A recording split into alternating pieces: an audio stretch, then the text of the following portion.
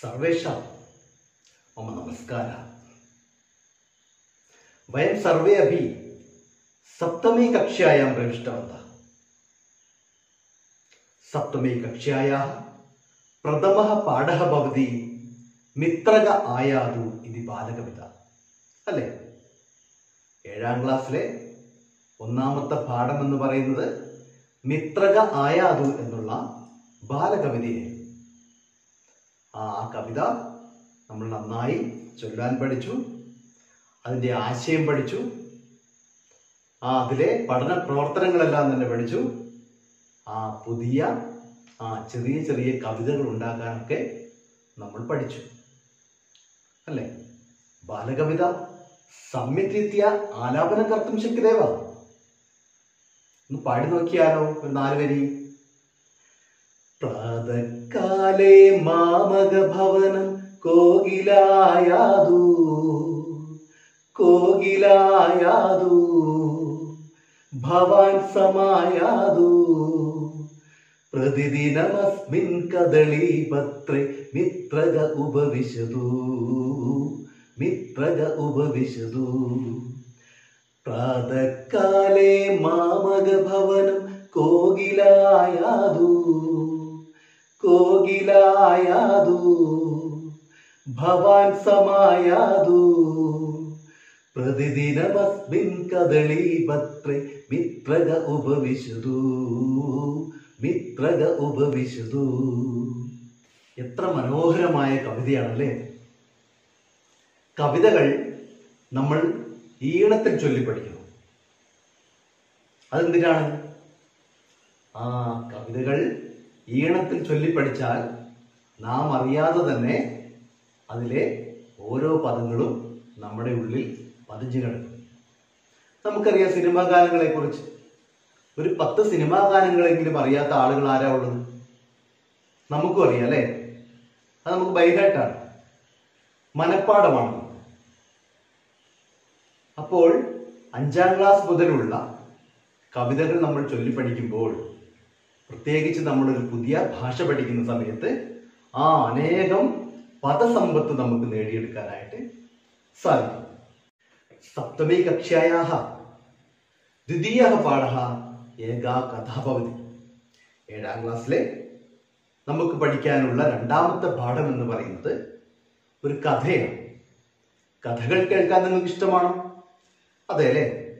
കുട്ടിക്കാലം മുതൽ കഥകൾ കേട്ട് വളർന്നവരാണ്. അല്ലേ? ഇപ്പോഴോ? ആ നമ്മൾ കഥകൾ വായിക്കുന്നു കഥകൾ ആസ്വദിക്കുന്നു കഥകൾ എഴുതുകയും ചെയ്യും. ആരൊക്കെയാണ് നമുക്ക് കഥകൾ പറഞ്ഞു തന്നിട്ടുള്ളത്? ആ മുത്തശ്ശി.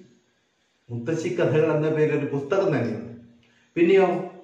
ആ മുത്തച്ഛൻ അച്ഛൻ അമ്മ ആ മുതിർന്ന സഹോദരങ്ങൾ അങ്ങനെ അനേകം ആളുകൾ നമുക്ക് കഥകൾ പറഞ്ഞു തന്നിട്ടുണ്ട്. ഏതൊക്കെ കഥകളാണ് നിങ്ങൾ കേട്ടിട്ടുള്ളത്? ആ ആമയുടെയും മുയലിന്റെയും കഥ. പിന്നെയോ കാക്കയുടെയും കുയിലിന്റെയും കഥ. കൊക്കിന്റെയും ഞണ്ടിന്റെയും കഥ. ആനയുടെയും ഉറുമ്പിന്റെയും കഥ. ആ കുറുക്കന്റെയും സിംഹത്തിന്റെയും കഥ. കുരങ്ങന്റെയും മുതലയുടെയും കഥ. അങ്ങനെ ധാരാളം കഥകൾ നമ്മൾ കേട്ടിട്ടുള്ളവരാണ്.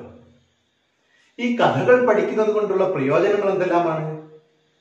ആ കഥകൾ നമ്മുടെ മനസ്സിനെ ആനന്ദിപ്പിക്കുന്നു. കഥകൾ വായിക്കുമ്പോൾ നമുക്ക് സന്തോഷമുണ്ടാകുന്നു അല്ലേ? കഥകളിലെ കഥാപാത്രങ്ങൾ നമുക്ക് ഇഷ്ടപ്പെട്ട കഥാപാത്രങ്ങൾ ആ അവർ തമ്മിലുള്ള രസകരമായ സംഭാഷണങ്ങൾ സംഭവങ്ങൾ ഇതെല്ലാം നമ്മുടെ മനസ്സിനെ ആനന്ദിപ്പിക്കുന്നു. പിന്നെയോ? ആ നമ്മുടെ ഭാവനാശേഷി വർദ്ധിക്കുന്നു. ആ എങ്ങനെയാണ് നമ്മുടെ ഭാവനാശേഷി വർദ്ധിക്കുന്നത്? ആ നമുക്കറിയാം. കുട്ടിക്കാലത്തൊക്കെ മുത്തശ്ശിയോ ആ മുത്തച്ഛനോ അച്ഛനോ അമ്മയോ നമുക്ക് കഥകൾ പറഞ്ഞു തരാറുണ്ട് അല്ലേ? ചില സന്ദർഭങ്ങളിൽ നമ്മൾ ഉറങ്ങിപ്പോയിട്ടുണ്ടാവും. പിന്നെ നമുക്ക് എപ്പോഴാണ് ഓർമ്മ വരുന്നത്? ആ പിറ്റേ ദിവസമാണ്. അപ്പോൾ മുത്തശ്ശി പറഞ്ഞു നിർത്തിയ ആ കഥ ഇനി എന്തായിരിക്കും എന്നുള്ളൊരു ചിന്ത ആ നമ്മുടെ മനസ്സിലുണ്ടാവും. പിന്നെ കഥ കേൾക്കണമെങ്കിൽ ആ രാത്രിയാവും. അതുവരെ മുത്തശ്ശി തിരക്കായിരിക്കും. അല്ലേ? അപ്പോ അതുവരെ നമ്മൾ നമ്മുടെ ഭാവനയ്ക്കനുസരിച്ച് കഥകൾ ഇങ്ങനെ അങ്ങനെ ആയിരിക്കുമോ? ഇങ്ങനെ ആയിരിക്കുമോ? എന്നൊക്കെ നമ്മൾ ചിന്തിച്ചിട്ടുണ്ടാവും അല്ലേ? അപ്പൊ നമ്മൾ ആ ചിന്തിച്ച തരത്തിൽ കഥകൾ എഴുതുമ്പോൾ അത് ആരുടെ കഥയായി? നമ്മുടെ കഥയായി. അങ്ങനെ കൂടുതൽ കൂടുതൽ കഥകൾ വായിക്കുകയും കേൾക്കുകയും ഒക്കെ ചെയ്യുന്നത് നമ്മുടെ ഭാവനാശേഷിയെയും വർദ്ധിപ്പിക്കുന്നു. പിന്നെയോ ആ കഥകൾ നമ്മുടെ ഭാഷാശേഷി വർദ്ധിപ്പിക്കുന്നു. കൂടുതൽ കഥകൾ വായിക്കുമ്പോൾ ആ നമുക്ക് ഭാഷാശേഷി കൈവരുന്നു. നമ്മുടെ ഭാവനയ്ക്കനുസരിച്ച് നമ്മൾ കഥകൾ എഴുതുമ്പോൾ ആ പുതിയ കഥകൾ അവിടെ സൃഷ്ടിക്കപ്പെടുന്നു. പുതിയ പുതിയ കഥകൾ നമ്മൾ വായിക്കുമ്പോൾ ആ അനേകം പദസമ്പത്ത് നമുക്ക് ലഭിക്കുന്നു. അങ്ങനെ പുതിയ കഥകളും കവിതകളും എഴുതുവാനൊക്കെ നമ്മൾ പ്രാപ്തരാകും. പിന്നെയോ? ആ കഥകളിലെ സന്ദേശങ്ങൾ ഉൾക്കൊണ്ട് മൂല്യബോധമുള്ളവരായി വളരുവാൻ നമ്മെ സഹായിക്കുന്നു. ഗുണപാഠ കഥകൾ നമ്മൾ കേട്ടിട്ടുണ്ട്. ഓരോ കഥകളും ആ വ്യത്യസ്തങ്ങളായ സന്ദേശങ്ങളാണ് ജീവിത മൂല്യങ്ങളാണ് നമുക്ക് പകർന്നു തരുന്നത്. അപ്പോൾ ആ മൂല്യങ്ങൾ മുറുകെ പിടിച്ചുകൊണ്ട് സംസ്കാരമുള്ളവരായി ജീവിക്കാൻ കഥകൾ നമ്മെ പ്രാപ്തരാക്കുന്നു. ഇനി ഏതൊക്കെ തരം കഥകളെ കുറിച്ച് നിങ്ങൾ കേട്ടിട്ടുണ്ട്? ആ പുരാണ കഥകൾ ആ അറബിക് കഥകൾ ബീർബൽ കഥകൾ പാക്കനാർ കഥകൾ ആ മത്സ്യകന്യകയുടെ കഥകൾ അങ്ങനെ അനേകം കഥകൾ നമ്മൾ കേട്ടിട്ടുണ്ട്. ഇംഗ്ലീഷിലും നമ്മൾ കഥകൾ കേട്ടിട്ടുണ്ട്. ആ. Grapes also. The thirsty crow two frogs അങ്ങനെ ആ ചെറിയ ക്ലാസ്സുകളിലൊക്കെ നമ്മൾ ഇംഗ്ലീഷിലും കഥകൾ കേട്ടിട്ടുണ്ട്. ഇനി സംസ്കൃത ഭാഷയിൽ എഴുതപ്പെട്ട ഏതെങ്കിലും കഥകളെക്കുറിച്ചോ കുറിച്ചോ കഥാഗ്രന്ഥങ്ങളെ കുറിച്ചോ നിങ്ങൾ കേട്ടിട്ടുണ്ടോ? ആ ഉണ്ട്. ഏതാണത്? ആ പഞ്ചതന്ത്രം കഥകൾ. സംസ്കൃത ഭാഷയിൽ എഴുതപ്പെട്ട വിശ്വപ്രസിദ്ധമായ ഒരു കഥാഗ്രന്ഥമാണ് പഞ്ചതന്ത്രം കഥകൾ എന്നറിയപ്പെടുന്നത്. ആരാണ് ഈ പ്രസിദ്ധമായ കഥാഗ്രന്ഥത്തിന്റെ കർത്താവ്? ആ വിഷ്ണു ശർമ്മ. ഈ പഞ്ചതന്ത്രം എന്ന ഗ്രന്ഥം കൂടാതെ സംസ്കൃതത്തിൽ മറ്റ് കഥാഗ്രന്ഥങ്ങൾ കൂടിയുണ്ട്. അതിന്റെ പേര് സാർ പറയാം? ആ ഹിതോപദേശ കഥാസരിത് സാഗര ബൃഹത് കഥ ബൃഹത് കഥ മഞ്ജരി വേതാള പഞ്ചവിംശതി. പഞ്ചതന്ത്രം എഴുതിയത് വിഷ്ണു ശർമ്മ. ഹിതോപദേശം നാരായണ ഭട്ട കഥാസരിത് സാഗര സോമദേവ ബൃഹത് കഥ ഗുണാഢ്യ ബൃഹത് കഥ മഞ്ജരി ക്ഷേമേന്ദ്ര വേദാള പഞ്ചവിംശതി ശിവദാസ. അപ്പോ ആ മലയാളത്തിൽ മാത്രമല്ല സംസ്കൃതത്തിലും അനേകം കഥാഗ്രന്ഥങ്ങളുണ്ട്. അപ്പോൾ അനേകം കഥകളുടെ ആ ഒരു കൂട്ടമാണ് ഈ ഗ്രന്ഥങ്ങളിലെല്ലാം ഉള്ളത്. അപ്പോൾ ഈ കഥാഗ്രന്ഥങ്ങളുടെയും ഗ്രന്ഥകർത്താവിന്റെയും പേരുകൾ നിങ്ങളുടെ ആ ടിപ്പണി പുസ്തകത്തിൽ നിങ്ങൾ എഴുതി വയ്ക്കണം അപ്പോൾ സംസ്കൃതത്തിൽ രചിക്കപ്പെട്ട പഞ്ചതന്ത്രത്തിൽ നിന്ന് എടുത്തിട്ടുള്ളതാണ് നമുക്ക് പഠിക്കാനുള്ള ആ നമൂർഖമുപതിശേത് എന്ന് പറയുന്ന കഥ. നമുക്കറിയാം കഥകളിലെല്ലാം കഥാപാത്രങ്ങൾ ഉണ്ടാകും അല്ലെ? നിങ്ങൾ വായിച്ചിട്ടുള്ള കഥകളിൽ ആരൊക്കെയാണ് കഥാപാത്രങ്ങളായി വരാറുള്ളത്? ആ ദേവന്മാർ ദേവതകൾ മനുഷ്യർ രാജാക്കന്മാർ ആ പക്ഷിമൃഗാദികൾ ആ എല്ലാ ജീവജാലങ്ങളും തന്നെ കഥാപാത്രങ്ങളായി വരാറുണ്ട്. എന്നാൽ വിഷ്ണു ശർമ്മയാൽ എഴുതപ്പെട്ട പഞ്ചതന്ത്രം കഥകളിൽ ആ പക്ഷികളും മൃഗങ്ങളും മാത്രമാണ് കഥാപാത്രങ്ങളായിട്ടുള്ളത്. അതാണ് പഞ്ചതന്ത്രം കഥയുടെ മറ്റൊരു പ്രത്യേകത എന്ന് പറയുന്നത്. അപ്പോൾ നമുക്ക് നമ്മുടെ കഥയിലേക്ക് കിടക്കാം എന്താണ് കഥയുടെ പേര്? ആ ന മൂർഖമുപദിശേ എന്താണ് മൂർഖ? മൂർഖ വിഡ്ഢി. ന മൂർഖമുപദിശേ മൂർഖം ന ഉപദിശേ വിഡ്ഢിയെ ഉപദേശിക്കാൻ പാടില്ല. ഇപ്പൊ നമുക്ക് ആകാംക്ഷയില്ലേ? ആരാണ് വിഡ്ഢി? നമ്മളും ചിലപ്പോഴൊക്കെ പലരെയും വിഡ്ഢികൾ എന്ന് വിളിക്കാറുണ്ട് അല്ലേ? ആ ഇവിടെ ആരാണ് വിഡ്ഢി? ആരാണ് ഉപദേശിക്കാൻ പോയത് എന്നൊക്കെ അറിയാനുള്ള ഒരാഗ്രഹം അല്ലെ? ആകാംക്ഷ നമുക്കുണ്ടായി. ആ നമ്മുടെ കഥയുടെ ആമുഖം നോക്കാം. പണ്ഡിതേന വിഷ്ണു ശർമ്മണ രചിതം നീതിസാരാണാം കഥാനാം സമാഹാരഭൂതം ഭവതി പഞ്ചതന്ത്രം എന്താണ്? പണ്ഡിതേന വിഷ്ണു ശർമ്മണ രചിതം. പണ്ഡിതനായ വിഷ്ണു ശർമ്മയാൽ എഴുതപ്പെട്ട രചിതം രചിക്കപ്പെട്ട നീതിസാരാണ നീതിസാരങ്ങളായ കഥാന കഥകളുടെ സമാഹാരഭൂതം ഭവതി പഞ്ചതന്ത്രം. കഥകളുടെ ഒരു കൂട്ടമാണ് പഞ്ചതന്ത്രം. തത്ര ഇവിടെ ഇവിടെ പഞ്ചതന്ത്രത്തിൽ. മിത്രലാഭ മിത്രഭേദ കാഗോലൂകീയം ലബ്ധപ്രണാശ അപരീക്ഷിതകാരകം ച ഭവന്തി. തത്ര ഇവിടെ പഞ്ചതന്ത്രാണി. ആ അഞ്ച് തന്ത്രങ്ങൾ. എന്താണ് അതിന്റെ പേര്. മിത്രലാഭ മിത്രഭേദ കാഗോലൂകീയം ലബ്ധപ്രണാശ അപരീക്ഷിത കാരകം ഇങ്ങനെ അഞ്ച് തന്ത്രങ്ങളാണ് പഞ്ചതന്ത്രത്തിൽ ഉള്ളത്. ഇനിയോ? അമരശക്തി മഹിളാരോപ്യ നാമകസ്യ രാഷ്ട്രസ്യ രാജാ ആസീത്. അമരശക്തി എന്ന് പറയുന്ന രാജാവ് മഹിളാരോപ്യം എന്ന് പറയുന്ന രാജ്യത്തെ രാജാ ആസീ രാജാവായിരുന്നു. തസ്യ പുത്രാഹ മൂർഖാഹ ആസൻ. അദ്ദേഹത്തിന്റെ പുത്രന്മാർ ആ തസ്യ പുത്രാഹ.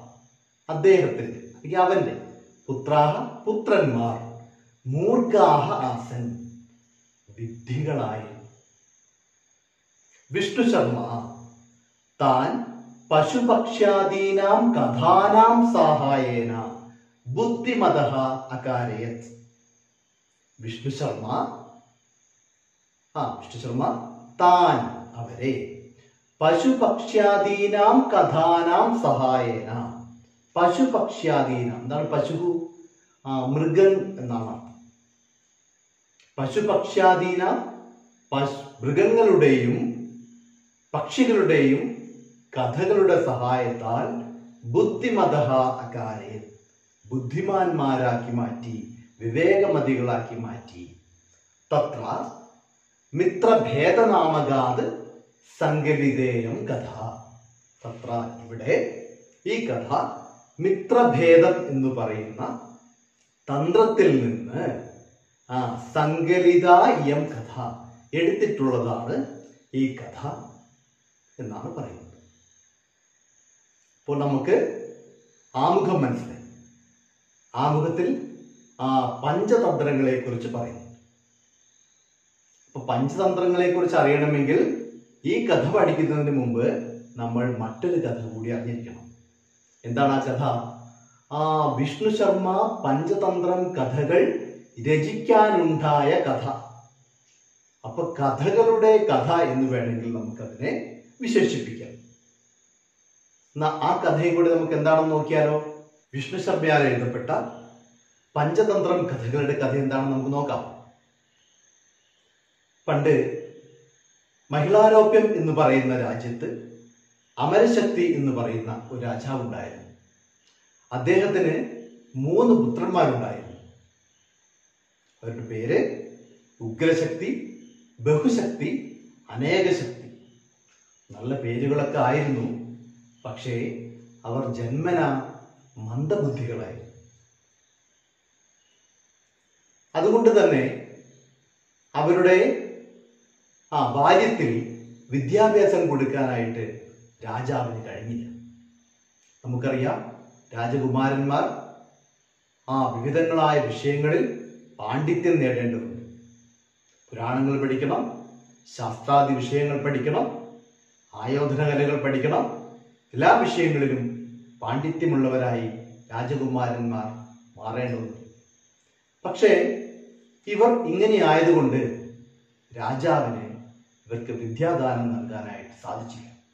എങ്കിലും കുറച്ച് വളർന്നപ്പോൾ രാജ്യത്തെ ആ മഹാത്മാരെയും പാണ്ഡിത്യമുള്ളവരെ എല്ലാം വിളിച്ചു വരുത്തി ഇവരെ വിദ്യ അഭ്യസിപ്പിക്കാൻ വേണ്ടി തീരുമാനിച്ചു. പക്ഷേ വന്നവരെല്ലാം പരാജയപ്പെട്ടു പോയതേ ഉള്ളൂ ഇവർ അലസന്മാരായി അങ്ങനെ നടന്നു രാജാവ് ചിന്തിച്ചു എന്തു ചെയ്യും? ഇനി എന്റെ കാലശേഷം ഈ രാജ്യം ഭരിക്കാൻ ഇനി ആരാണുള്ളത്? മൂന്ന് പുത്രന്മാരും ഇങ്ങനെയായല്ലോ. രാജാവ് അതീവ ദുഃഖിതനായി തീർന്നു തൊട്ടടുത്ത ദിവസം തന്നെ രാജാവ് മന്ത്രിമാരെ എല്ലാം വിളിച്ചുകൂട്ടി അവരോട് പറഞ്ഞു മന്ത്രിമാരെ എന്റെ രാജ്യം നശിക്കാൻ പോകും. എന്റെ കാലശേഷം ഈ രാജ്യം അന്യാധീനപ്പെട്ടു പോകും. അതിനുള്ളിൽ എന്റെ പുത്രന്മാരെ വിവേകമതികളാക്കി തീർക്കണം. എന്തെങ്കിലും ഒരു ഉപായം കണ്ടുപിടിക്കൂ. മന്ത്രിമാർ അങ്ങോട്ടും ഇങ്ങോട്ടും നോക്കി. കാരണം അവർക്കറിയാം കുറേ ശ്രമങ്ങളൊക്കെ ഇതിനു മുമ്പ് നടത്തിയിട്ടുള്ളതാണ്. എങ്കിലും മന്ത്രിമാരിൽ ബുദ്ധിമാനായ ഒരു മന്ത്രി സുമതി എന്ന് പേരായ ഒരു മന്ത്രി രാജാവിനോട് പറഞ്ഞു മഹാരാജാവേ അങ്ങയുടെ പുത്രന്മാരെ വിവേകമതികളാക്കി തീർക്കാൻ ഞാൻ ഒരു ഉപായം പറയാം. രാജാവിന് ആകാംക്ഷയെ പെട്ടെന്ന് പറയൂ. അദ്ദേഹം പറഞ്ഞു കൊട്ടാരത്തിൽ നിന്ന് അധികം ദൂരെയല്ലാതെ സംസ്കൃത പണ്ഡിതനായ ഒരു വിദ്വാൻ താമസിക്കുന്നുണ്ട് അദ്ദേഹത്തിന് താങ്കളുടെ മക്കളെ ബുദ്ധിമാന്മാരാക്കി മാറ്റാൻ വിവേകവതികളാക്കി മാറ്റാൻ സംസ്കാരമുള്ളവരാക്കി മാറ്റാൻ കഴിയും എന്ന് ഞാൻ വിശ്വസിക്കുന്നു. രാജാവ് പെട്ടെന്ന് തന്നെ അദ്ദേഹത്തെ കൊട്ടാരത്തിലേക്ക് കൊണ്ടുവരാൻ വേണ്ടി ഭടന്മാരെ വിട്ടു.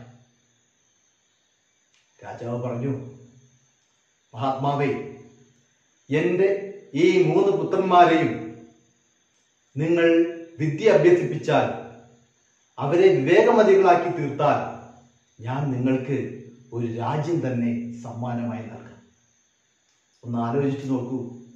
സ്വന്തം മക്കൾക്ക് വേണ്ടി അവരുടെ ആ വിദ്യാഭ്യാസത്തിന് വേണ്ടി ഒരു രാജ്യം തന്നെ സമ്മാനമായി നൽകാൻ ആ രാജാവ് തീരുമാനിക്കുക. പണ്ഡിതനായ വിഷ്ണു ശർമ്മ ഒന്ന് പുഞ്ചിരിച്ചുകൊണ്ട് രാജാവിനോട് പറഞ്ഞു അല്ലയോ മഹാരാജാവേ ചുരുങ്ങിയ കാലം കൊണ്ട് തന്നെ വളരെ കുറച്ച് കാര്യങ്ങൾ കൊണ്ട് കുറച്ച് ഗ്രന്ഥങ്ങളെ കൊണ്ട് ഈ മക്കളുടെ സംസ്കാര പരിവർത്തനം ഞാൻ സാധിച്ചെടുക്കാം. എനിക്ക് അങ്ങീ പറഞ്ഞ രാജ്യം വേണ്ട ധനം വേണ്ട മറ്റൊന്നും എനിക്ക് വേണ്ട. എന്റെ സ്വധർമ്മം ചെയ്യുകയാണ് ഞാൻ ചെയ്യുന്നത്. അതിനെന്നെ അനുവദിച്ചാൽ നോക്കൂ അറിവ് പറഞ്ഞു കൊടുക്കുന്നത് സമ്പത്തിന് വേണ്ടിയല്ല. മറിച്ച് അത് ഗുരുക്കന്മാരുടെ ധർമ്മമാണെന്ന് വെളിപ്പെടുത്തുകയാണ് വിഷ്ണു ശർമ്മ ഇവിടെ ചെയ്യുന്നത്. മഹാരാജാവ് ഈ മൂന്ന് പുത്രന്മാരെയും വിഷ്ണു ശർമ്മയോടൊപ്പം വിടുന്നു. വിഷ്ണു ശർമ്മ അവരെയും കൂട്ടി ഉദ്യാനത്തിലേക്ക് പോവുകയാണ് ചെയ്യുന്നത്. പോകുന്ന സമയത്ത് പുത്രന്മാർ ചോദിച്ചു മഹാത്മാവേ താങ്കൾ ഞങ്ങളെ പഠിപ്പിക്കാൻ വന്നിരിക്കുകയാണോ? ഇതിനു മുമ്പ് എത്രയോ പണ്ഡിതന്മാർ ഞങ്ങളെ പഠിപ്പിച്ച് പരാജയപ്പെട്ടിട്ടേ ഉള്ളൂ. വിഷ്ണു ശർമ്മ പറഞ്ഞു നിങ്ങളെ ആര് പഠിപ്പിക്കാൻ? നിങ്ങൾ കേവന്മാരല്ലേ മിടുക്കന്മാരെ എന്തിനു പഠിപ്പിക്കണം? നമുക്ക് ആ മരത്തിന്റെ ചുവട്ടിൽ പോയിരുന്ന് ആ കാഴ്ചകൾ കണ്ട് രസിക്കാം. ഇത് കേട്ടപ്പോൾ പുത്രന്മാർക്ക് സന്തോഷമായി. പഠിക്കേണ്ടത്. അങ്ങനെ വിഷ്ണു ശർമ്മ പറഞ്ഞു നമുക്കൊരു കഥ കേട്ടാലോ? ആ പുത്രന്മാർക്ക് സന്തോഷമായി. കഥകൾ കേൾക്കാൻ എല്ലാവർക്കും ഇഷ്ടമാണല്ലേ? ആ വിഷ്ണു ശർമ്മ കഥ പറയാൻ ആരംഭിച്ചു. അങ്ങനെ ഒരു ദിവസം പറഞ്ഞു രണ്ട് ദിവസം പറഞ്ഞു ആഴ്ചകൾ പറഞ്ഞു മാസങ്ങൾ പറഞ്ഞു. അങ്ങനെ ആറ് മാസം പിന്നിട്ടു. ആറു മാസങ്ങൾ കൊണ്ട് വിഷ്ണു ശർമ്മ അനേകം കഥകൾ പറഞ്ഞു. അങ്ങനെ പറഞ്ഞു പറഞ്ഞു പറഞ്ഞു പറഞ്ഞു. ആറു മാസത്തിന് ശേഷം പുത്രന്മാരിൽ മാറ്റങ്ങൾ കാണാൻ തുടങ്ങി. ഈ പുത്രന്മാർ വിവേകമതികളായി തീർന്നു എന്നാണ് കഥ. പിന്നീട് വിഷ്ണു ശർമ്മ എന്ത് ചെയ്തു? ഈ പുത്രന്മാർക്ക് പറഞ്ഞു കൊടുത്ത കഥകൾ മുഴുവൻ അദ്ദേഹം പുസ്തക രൂപത്തിലാക്കി മാറ്റി. താളിയോലകളിൽ എഴുതി. ഈ കഥകളെ അദ്ദേഹം അഞ്ചായി തിരിച്ചു. അഞ്ച് സന്ദേശങ്ങൾ ഉൾക്കൊള്ളുന്ന അഞ്ച് തന്ത്രങ്ങൾ ഉൾക്കൊള്ളുന്നതായിരുന്നു ഈ കഥകൾ. പുത്രന്മാരെ ആ തിരിച്ച് ജീവിതത്തിലേക്ക് തിരിച്ചു കൊണ്ടുവരാൻ വേണ്ടി അഞ്ച് തന്ത്രങ്ങൾ അദ്ദേഹം പ്രയോഗിച്ചു. ആ അധ്യായങ്ങൾക്ക് കൊടുത്തിരിക്കുന്ന പേരാണ് പഞ്ചതന്ത്രത്തിലെ ഈ അധ്യായങ്ങൾക്ക് കൊടുത്തിരിക്കുന്ന പേരാണ് ഈ അഞ്ച് തന്ത്രങ്ങളുടെ പേര്. ഒന്ന് മിത്രലാഭ മിത്രഭേദ കാഗോലൂകീയം ലബ്ധപ്രണാശ അപരീക്ഷിത കാരണം അങ്ങനെ അഞ്ച് തന്ത്രങ്ങൾ. അപ്പൊ നമുക്ക് അറിയാനുള്ള ആഗ്രഹമുണ്ട് അല്ലേ എന്താണ് ഈ മിത്രലാഭം മിത്രത്തെ ലഭിക്കുക കൂട്ടുകാരനെ ലഭിക്കുക. നമ്മൾ ഒരു കൂട്ടുകാരനോടൊപ്പം കൂടുമ്പോൾ കൂട്ടുകൂടുമ്പോൾ നന്നായി മനസ്സിലാക്കിയിട്ട് വേണം അവനോടൊപ്പം കൂടാൻ. അവനോടൊപ്പം കൂടാനുള്ള യോഗ്യത എനിക്കുണ്ടോ? എന്നോടൊപ്പം കൂടാനുള്ള യോഗ്യത അവനുണ്ടോ എന്ന് കൃത്യമായി തിരിച്ചറിഞ്ഞിട്ട് വേണം നമ്മൾ കൂട്ടുകൂടാൻ. അല്ലെങ്കിൽ നമ്മൾ ആപത്തിൽ ചെന്ന് ചാടും എന്നുള്ള സന്ദേശങ്ങൾ ആ പറയുന്ന കഥകളാണ് ആ ഗണത്തിൽപ്പെടുന്നത് ആ തന്ത്രത്തിൽപ്പെടുന്നത്. രണ്ടാമതായിട്ടോ മിത്രഭേദം. പരസ്പരം സുഹൃത്തുക്കളായിരിക്കുന്ന രണ്ടുപേരെ പറഞ്ഞു പറഞ്ഞു പറഞ്ഞു പറഞ്ഞു തെറ്റിച്ച് കാര്യങ്ങൾ നേടിയെടുക്കുന്ന ഒരു വിഭാഗമാണ് രണ്ട് കുടുംബങ്ങളെ തമ്മിൽ പറഞ്ഞു തെറ്റിച്ച് കാര്യങ്ങൾ നേടിയെടുക്കുന്ന ആളുകളുണ്ട്. അല്ലെ? ഇതൊക്കെ നമുക്കറിയാം. രണ്ട് സമുദായങ്ങളെ പറഞ്ഞു തെറ്റിച്ച് കാര്യങ്ങൾ നേടിയെടുക്കുന്ന ആളുകൾ. ആ ഈ സന്ദേശങ്ങൾ നൽകുന്ന കഥകളാണ് ആ വിഭാഗത്തിൽപ്പെടുന്നത്. മൂന്നാമതായിട്ടോ? കാകോലൂകീയ കാഗഹ ഉലൂഗഹ. എന്താ കാക്കയും മൂങ്ങയും? ആ കാക്കയും മൂങ്ങയും ആജന്മ ശത്രുക്കളാണ് അല്ലെ അവർ ജന്മനാ വൈരികളായിട്ടാണ് ജനിക്കുന്നത്. കീരിയും പാമ്പും എന്നൊക്കെ നമ്മൾ പറയാറില്ല അതുപോലെ ഇവർ തമ്മിൽ ഒന്നിച്ചാലോ? ഈ ശത്രുതാ മനോഭാവം ആ എപ്പോഴും ഇവരുടെ കൂടെയുണ്ട്. ഇങ്ങനെയുള്ള ശത്രുക്കൾ തമ്മിൽ ഒന്നിക്കുമ്പോൾ അവിടെ എന്തോ അപകടം പതിഞ്ഞിരിക്കുന്നു എന്ന് മനസ്സിലാക്കണം. ഈ സന്ദേശങ്ങൾ നൽകുന്ന കഥകളാണ് മൂന്നാമതായിട്ടുള്ളത് എന്താണ് നാലാമത്തെ തന്ത്രം? ലബ്ധപ്രണാശ ലഭതെ ലഭിക്കുക. പ്രണാശ നശിക്കുക. കയ്യിൽ കിട്ടിയത് കളഞ്ഞു കുളിക്കുക. ആ ഈ ഒരു തന്ത്രത്തിന് ഉത്തമ ഉദാഹരണമാണ് മുതലയുടെയും കുരങ്ങന്റെയും കഥ. അത്തിമരത്തിലിരിക്കുന്ന കുരങ്ങന്റെ കരൾ തിന്നാൻ വേണ്ടി കുരങ്ങനെയും കൂട്ടി സൂത്രത്തിൽ ആ തടാകത്തിന്റെ മധ്യത്തിലെത്തി. ആരെ? മുതല. അപ്പോൾ മുതല വിചാരിച്ചു ഇനി കുരങ്ങൻ രക്ഷപ്പെടാൻ പോകുന്നില്ല. കുരങ്ങനോട് മുതല കാര്യം പറയുകയാണ്. എന്റെ കരൾ ആ എന്റെ ഭാര്യയ്ക്ക് ആ ഭക്ഷണമായി വേണം.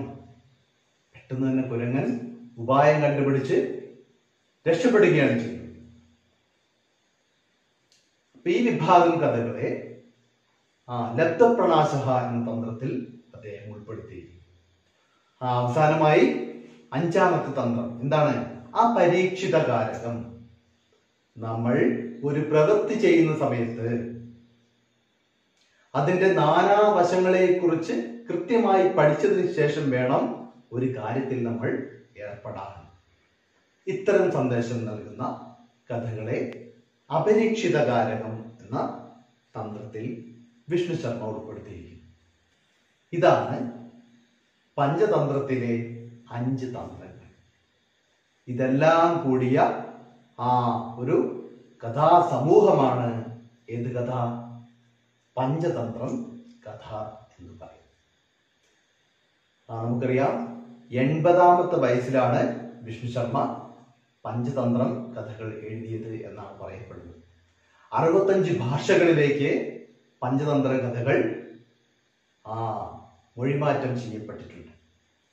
വിദേശ രാജ്യങ്ങളിൽ എല്ലായിടത്തും ആ ചെറിയ ക്ലാസ്സുകളിൽ പഞ്ചതന്ത്ര കഥകൾ പഠിക്കുന്നുണ്ട്. നമ്മുടെ വീട്ടിലും പഞ്ചതന്ത്ര കഥകൾ ഉണ്ടായിരിക്കണം. അത് വായിക്കണം. അതിന്റെ സന്ദേശങ്ങൾ നമ്മൾ ഉൾക്കൊള്ളണം. നല്ല രീതിയിൽ ആ ചതിയിലൊന്നും പെടാതെ നല്ല രീതിയിൽ ജീവിക്കുവാനും നമുക്ക് സാധിക്കണം. ഇതാണ് പഞ്ചതന്ത്രം എഴുതാനുണ്ടായ കഥ എന്ന് പറയും. നമുക്ക് നമ്മുടെ കഥയിലേക്ക് പോകാം. കഥയുടെ ആമുഖത്തിൽ പറഞ്ഞു മിത്രഭേദനാമക സങ്കലിത യം കഥ. മിത്രഭേദം എന്ന് പറയുന്ന തന്ത്രത്തിൽ നിന്ന് എടുത്തിട്ടുള്ള കഥയാണ് നമുക്ക് പഠിക്കാനുള്ള ഈ കഥ. കസ്മിഞ്ചിത് അരണ്യേ വാനരയൂഥം വസതി സ്മ കസ്മിഞ്ചിത് അരണ്യേ. ഒരു വനത്തിൽ അരണ്യം വനം. അരണ്യേ വനത്തിൽ സപ്തമി വിഭക്തി. കസ്മിഞ്ചിത് അരണ്യേ ഒരു വനത്തിൽ. വാനരയൂഥം വസതി സ്മ. വാനരയൂഥം യൂഥം സമൂഹം. വാനരയൂഥം വാനരാണാം സമൂഹം. കുരങ്ങന്മാരുടെ കൂട്ടം. വസതി സ്മ. വസിച്ചിരുന്നു. നമുക്കറിയാം കഥകൾ പറയുമ്പോൾ നമ്മൾ ഭൂതകാലത്തിലാണ് പറയാറ് അല്ലേ? അപ്പോ വസിച്ചിരുന്നു എങ്ങനെ പറയും? ആ അവസത് എന്നാണ് വേണ്ടത്. ഇവിടെ എന്താ വന്നത്? വസതി സ്മ വർത്തമാന കാലക്രിയാപദത്തിനൊപ്പം ആ സ്മ ചേർന്നാൽ നമുക്ക് ഭൂതകാല രൂപം കിട്ടുമെന്ന് നമ്മൾ ആറാം ക്ലാസ്സിലൊക്കെ പഠിച്ചിട്ടുണ്ട്. അപ്പോൾ എളുപ്പമാണ്. പടതിസ്മ പഠിച്ചിരുന്നു. വസതിസ്മ വസിച്ചിരുന്നു. തത്രൈവ സൂചിമുഖ നാമ ഗഗഹ അഭി ആസീത്. തത്രൈവ തത്ര പ്ലസ് ഏവ തത്ര അവിടെ അവിടെ തന്നെ എവിടെ തന്നെ?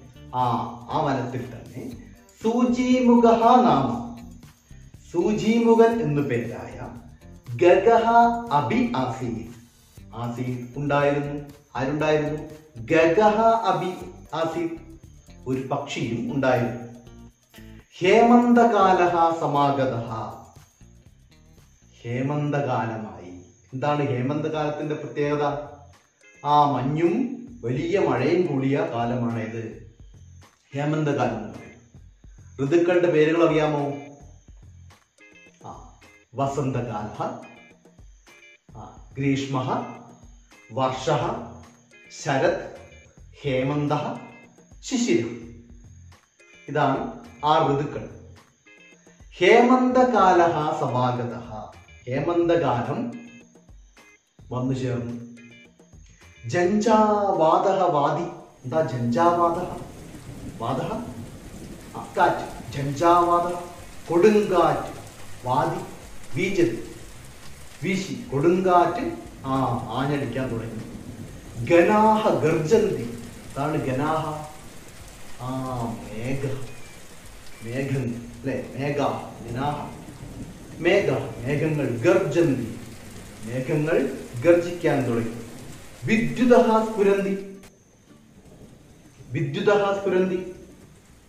ആ മേഘങ്ങൾ തമ്മിൽ കൂട്ടിയിടിക്കുമ്പോൾ എന്തുണ്ടാകും? മിന്നലുണ്ടാകും അല്ലെ? സ്ഫുരന്തി. ആ മിന്നലുണ്ടായി പ്രകാശമുണ്ടായി. വിദ്യുത മിന്നൽ. വൃക്ഷാഹ ദുവന്തി ദുവന്തി ആ വൃക്ഷങ്ങൾ ഇങ്ങനെ ആടി ഉലഞ്ഞു ഉലഞ്ഞുകൊണ്ടിരുന്നു മഹതീ വൃഷ്ടിർഭവതി മഹതീ വൃഷ്ടി ഇതാ മഹതീ. മഹതീ വൃക്ഷ വലിയ വൃക്ഷ. മഹതീ വൃഷ്ടി ആ വലിയ മഴയുണ്ടായി. സർവാ പ്രകൃതി ശബ്ദമുഖരിതാച്ച. പ്രകൃതി മുഴുവൻ ശബ്ദമുഖരിതമാണ്. മഴയുടെ ഒച്ച കാറ്റിന്റെ ഒച്ച ആ മേഘങ്ങൾ ഗർജിക്കുന്നതിന്റെ ഒച്ച അങ്ങനെ പ്രകൃതി സർവേ ശബ്ദമുഖരിതാച്ച കിന്തു. പക്ഷേ പശുപക്ഷിണ കിന്തു പശുപക്ഷിണ സ്വവാസസ്ഥാനെ സ്ഥിതാ മൗനം അനുതിഷ്ഠന്തി പക്ഷേ പശുപക്ഷിണ പശു ആ നേരത്തെ നമ്മൾ പറഞ്ഞു മൃഗം. പക്ഷിണ പക്ഷി. അപ്പോൾ മൃഗങ്ങളും പക്ഷികളും സ്വ ആവാസസ്ഥാനെ സ്ഥിത. സ്വന്തം വാസസ്ഥാനത്ത് ഇരുന്നു കൊണ്ട് ആ മൗനം അനുതിഷ്ഠന്തി മൗനമായി ഇരുന്നു തീവ്രേണ ശൈത്യേന സർവേ വാനരാഹ കമ്പതി. തീവ്രേണ ശൈത്യേന തീവ്രമായ ശൈത്യത്താൽ ആ തണുപ്പിനാൽ സർവേ വാനരാഹ കമ്പന്തേ. വാനന്മാരെല്ലാം വിറയ്ക്കാൻ തുടങ്ങി. കേചിത് വാനരാഹ ഭൂമോ പതിതാനി ഗുഞ്ചഫലാനി അങ്കാരാൻ മത്വ സഞ്ചിത്യ പ്രജ്വലനായ ധമന്തി. കേജിത് വാനര എന്താണ് കേജിത് കുറച്ച് കുരങ്ങന്മാർ. കുരങ്ങന്മാർ കുറച്ച് പേര് ഭൂമോ പതിതാനി ഭൂമിയിലേക്ക് വീണ ഗുഞ്ചഫലാനി. എന്താണ് ഗുഞ്ചഫലം? ആ കാകചിഞ്ചി കുന്നിക്കുരു. എന്താണ് കുഞ്ഞി കുന്നിക്കുരുയുടെ പ്രത്യേകത? ചുവപ്പും ആ ചെറിയ ഒരു കറുപ്പുണ്ടാവും അല്ലേ? ആ ചേർന്ന ഒരു നിറം. അപ്പോ ഈ കുരങ്ങന്മാർ എന്ത് വിചാരിച്ചു? അങ്കാരാൻമത്വ. ഇത് അങ്കാര ആ തീ കനൽ. മത്വ? ചിന്തിച്ചിട്ട്. സഞ്ചിത്യ ശേഖരിച്ചിട്ട് പ്രജ്വലനായ അത് ആ കത്താൻ വേണ്ടി ധമന്തി ധമന്തി ഭൂത്കുറുവന്തി ഊതാൻ തുടങ്ങി. വാനരാണാം വ്യർത്ഥം പ്രയത്നം വിലോക്യ. വാനരന്മാരുടെ ഈ വ്യർത്ഥമായ പ്രയത്നം കണ്ടിട്ട് സൂചിമുഖ അവതത്. ആരാണ് സൂചിമുഖ? ആ മരത്തിന്റെ കൊമ്പിൽ സുരക്ഷിതമായി ആ പൊത്തിലിരിക്കുന്ന സൂചിമുഖ എന്ന് പേരായ നമ്മുടെ പക്ഷി ആ വധത് പറഞ്ഞു ഭോ മൂർഖാഹ അല്ലയോ? വിഡ്ഢികളെ നൈതേ ഭക്തികടാഹ ഗുഞ്ചഫലാനിയേതാനി ന? ഏതേ ഭക്തികണാഹ ഇതെന്തല്ല? ആ ഇത് നിങ്ങൾ വിചാരിക്കുന്ന പോലെ തീക്കനലല്ല. ഏതേ ഗുഞ്ചഫലാനി ഇത് കുന്നിക്കുരുവാണ്. ഇത് ഊതിയിട്ട് വലിയ കാര്യമൊന്നും ഇല്ല. അപ്പോൾ ഇന്നത്തെ നമ്മുടെ കഥ ഒരു കഥ നിങ്ങൾ കേട്ടു. രണ്ടാമത്തെ നമ്മുടെ കഥ പകുതിയായി. അപ്പൊ നിങ്ങൾ എന്ത് ചെയ്യണം? ഇനി എന്തായിരിക്കും സംഭവിച്ചിട്ടുണ്ടാവുക എന്നുള്ളത് നിങ്ങളുടെ ഭാവനയ്ക്കനുസരിച്ച് നിങ്ങൾ എഴുതണം. അടുത്ത ദിവസം വരുമ്പോൾ നിങ്ങൾ എഴുതിയ കഥ കൊണ്ടുവരണം. അപ്പൊ നമുക്ക് ഈ കഥയും കൂടെ വായിക്കാം. നിങ്ങൾ ഉദ്ദേശിച്ചതാണോ ഇവിടെ കഥയിൽ സംഭവിക്കുന്നതെന്ന് നമുക്ക് നോക്കാം. നമ്മുടെ ഭാവനാശേഷി വർദ്ധിക്കട്ടെ. ഒരു പഠന പ്രവർത്തനം കൂടി സാർ തരികയാണ്. ഈ വായിച്ച ഭാഗത്തിൽ നിന്നുള്ള പദങ്ങളുടെ അർത്ഥങ്ങൾ സമാനാർത്ഥക പദങ്ങൾ തൊട്ടടുത്ത പേജിൽ പാഠത്തിന്റെ തൊട്ടടുത്ത പേജിലുണ്ട്. അത് നോക്കിയിട്ട് നിങ്ങൾ ടിപ്പണി പുസ്തകത്തിലേക്ക് ആ വാക്കുകളുടെ അർത്ഥം കൂടി എഴുതിയിട്ടാണ് കഥ നമുക്ക് അടുത്ത ക്ലാസ്സിൽ തുടരാം. പുനർമിലാമഹ. ധന്യവാദം.